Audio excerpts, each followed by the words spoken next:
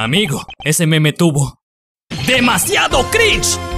No solo no fue gracioso, se lo robaste a alguien más. No me causa ninguna puta risa y a nadie tampoco. Esto fue la segunda cosa menos graciosa del server. La primera fue tu unión a este. Mi única pregunta es, ¿por qué quisiste compartir algo sin gracia? ¿Acaso querías publicar otra cosa? ¿Era algo irónico? ¿Estás siendo apuntado a la cabeza con un arma para postear estos memes atroces? ¿O eres tan idiota que pensaste que era realmente gracioso? Tus publicaciones son un asco como tu sentido del humor. Obtén mejor material, aspirante a shitposter.